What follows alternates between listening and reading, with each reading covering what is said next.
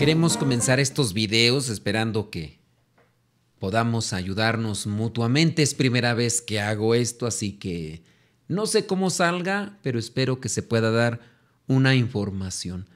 Nosotros tenemos programas de radio, los transmitimos en diferentes estaciones de radio, pero también los dejamos en nuestro canal de YouTube. Es otro canal diferente a este donde ustedes van a ver. El canal se llama Modesto Radio, lo pueden buscar ahí en YouTube y ahí van a encontrar muchos de los programas que hemos realizado.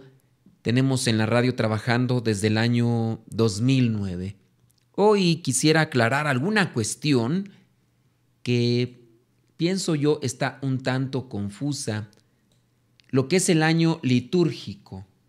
El año litúrgico, muchos llegan a decir que se termina con la solemnidad de nuestro Señor Jesucristo, Rey del universo. Pero no es así. Vamos a explicarles un poquito, espero que tengan paciencia. Primero, un año civil. Un año civil tiene 365 días. Eso es lo mismo que tiene un año litúrgico. Pero el año civil y el año litúrgico no comienzan igual. De hecho, si nosotros nos fijamos bien, el año civil termina un 31 de diciembre y comienza un primero de enero. Comienza a las 12 de la noche y a partir de las 12 de la noche con un minuto ya viene a ser año nuevo. El año litúrgico no comienza igual que el año civil. El año litúrgico tiene otra forma de desenvolverse. Voy a explicar esto para que también se tenga un poco de conocimiento. Lo que es el día como lo conocemos comienza a medianoche, pero también dentro del año litúrgico, que tiene también, como mencionamos, 365 días, también tiene sus días, pero no comienzan a las 12 de la noche.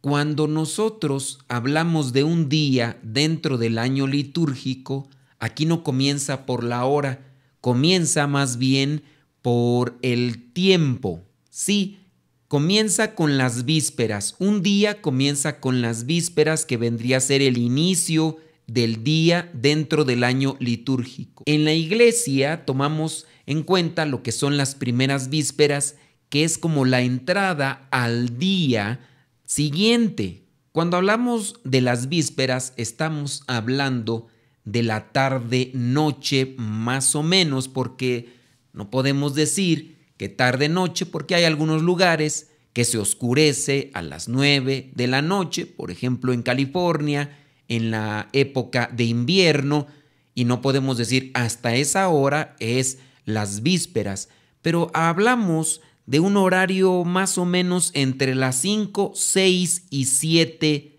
de la tarde noche, como le quieran llamar. Voy a poner el ejemplo. El sábado tú vas a misa, misa de 5 de la tarde o 6 de la tarde. El sacerdote puede ya elegir las lecturas que corresponden al domingo. Por lo tanto, si tú participas de esa misa del sábado, que es en las 5 o las 6 o las 7 de la noche, esa puede ya entonces ser del día domingo. Hay algunas personas que en ocasiones nos dicen, oiga, y en su caso, si yo voy a una misa el sábado a las 2 de la tarde, ¿me cuenta como si fuera de domingo? No, porque todavía no llegamos al tiempo de las vísperas. Pero en este caso, el sacerdote puede elegir. Algunos sacerdotes tienen muchas iglesias o capillas donde celebrar y los domingos no alcanzan, por eso es que van los días sábados en la tarde-noche a celebrar esa misa que ya viene a contar como si fuera del día domingo. Ahora, vayamos a la confusión que se da. Algunas personas llegan a decir incluso sacerdotes, yo no sé si dentro de la confusión llegan a decir que la fiesta o la solemnidad de Cristo Rey del universo, con ese domingo se termina el año litúrgico. La respuesta es no. Me mandaba un mensaje una señora, dice, tengo 50 años y dentro de todo lo que es ya mi vida, siempre me han dicho que el año litúrgico termina con la solemnidad de Cristo Rey del universo. La respuesta es no, y algunos de ustedes ya lo saben. El domingo de Cristo Rey del universo es el último domingo, mas no es el final del año litúrgico y les voy a explicar por qué. Vamos a explicar un poquito lo que sucede dentro del año litúrgico. El año litúrgico comienza con el tiempo de Adviento, se utiliza el color morado, aunque aquí la gráfica no lo tiene morado. Después viene el tiempo de Navidad, que es el tiempo que se utiliza el color blanco. Después viene el tiempo ordinario, un color verde. Después del tiempo ordinario viene el tiempo de cuaresma, que se utiliza otra vez el morado. Aquí el morado significa el tiempo de espera. Aquí el blanco significa el tiempo de la alegría. El verde, el tiempo de la esperanza. Aquí el morado adquiere otro significado, es el tiempo de penitencia. Después de cuaresma viene el tiempo de Pascua, que de igual manera utiliza el blanco, que es la alegría como en Navidad. Y después de Pascua, que dura 50 días, viene el tiempo ordinario, viene a terminar más o menos con la semana número 34. Cuando dicen que con la fiesta, remarco es solemnidad, no fiesta, la solemnidad de Cristo Rey del Universo, este es el último año litúrgico, pero ahí no termina el año litúrgico, porque después viene el lunes, que es todavía tiempo ordinario del mismo año litúrgico. Después viene martes, miércoles, jueves, viernes y ya viene el sábado. El sábado todavía una parte del día corresponde al año litúrgico y ya viene a terminar con las vísperas el sábado a las 5, a las 6 o a las 7, como hemos mencionado, se puede celebrar las primeras vísperas del primer domingo de Adviento. Son cuatro domingos de Adviento, pero aquí comienza con la tarde noche del día sábado. ¿Cuándo termina entonces el año litúrgico?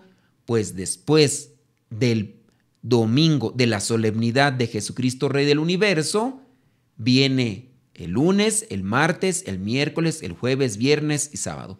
La respuesta concreta es, el año litúrgico termina el sábado antes, un día antes del primer domingo de Adviento y con el primer domingo de Adviento comienza lo que es el año litúrgico.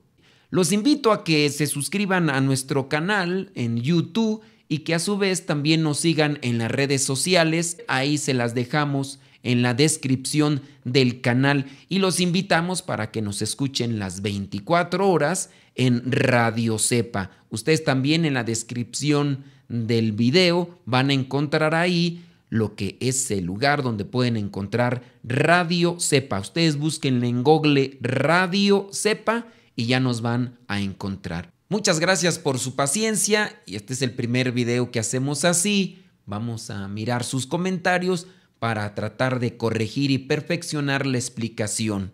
Recuerden, Radio Cepa y si ustedes quieren escuchar ya los programas grabados, pásense al otro canal que se llama Modesto Radio.